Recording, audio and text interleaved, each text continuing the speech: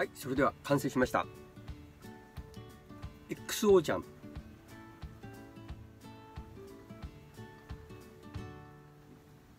XO ジャンのなんかそういうものがねあったのであこれご飯に入れて炊けるんじゃないのかなと思って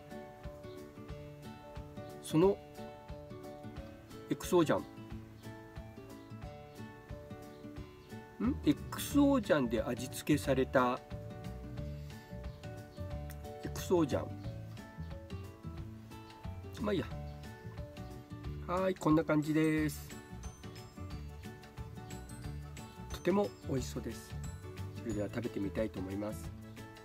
それではいただきます。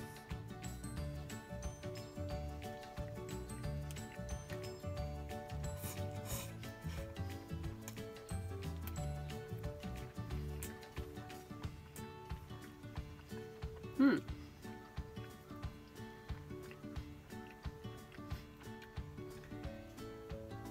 エクソージャンというものがどういうものだかよく分からなかったのでインターネットで調べてみました。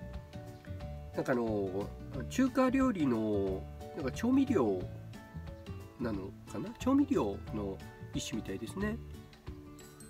それでその調味料を使った料理がエクソージャン料理ってこう一般的に言われてるらしいです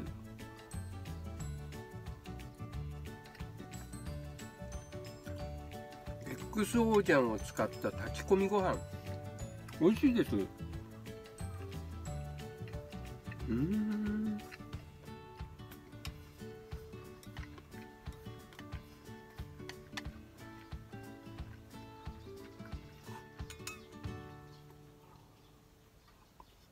ごちそうさまでした。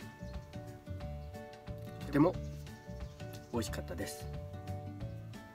うちで過ごそう。